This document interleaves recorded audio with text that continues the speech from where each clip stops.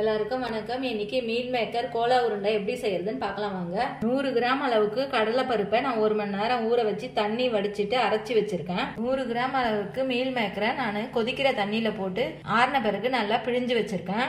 கொஞ்சமா கருவேப்பிலை அரை டீஸ்பூன் அளவுக்கு சோம்பு அரை டீஸ்பூன் அளவுக்கு தனி மிளகாய் தூள் அரை டீஸ்பூன் அளவுக்கு கரம் மசாலா தேவையான அளவுக்கு சால்ட்டை சேர்த்துக்கலாம். இப்போ இந்த மீல் மேக்கரை மிக்ஸி ஜாரில் போட்டு அரைச்சி எடுத்துக்கலாம்.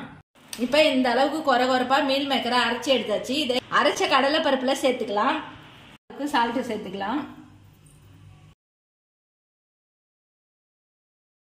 இது எல்லாத்தையும் நல்லா கலந்துடலாம்.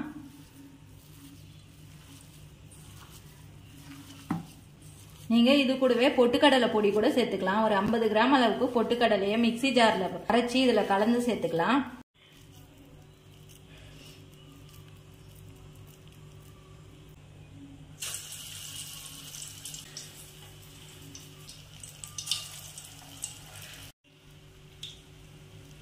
எண்ணெய் மிதமான சூட்டில் வச்சு வேக வச்சுக்கோங்க.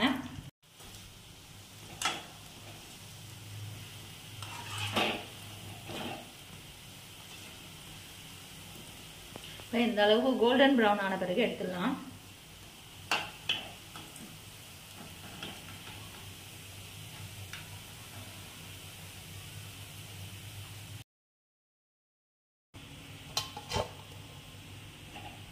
சுவையான இந்த கோலா உருண்டையை நீங்களும் செஞ்சு பாருங்கள் செஞ்சு பார்த்துட்டு எப்படி இருந்துச்சுன்னு சொல்லுங்கள் இந்த லைக் பண்ணுங்கள் ஷேர் பண்ணுங்கள் கமெண்ட் பண்ணுங்கள் சப்ஸ்கிரைப் பண்ணுங்கள்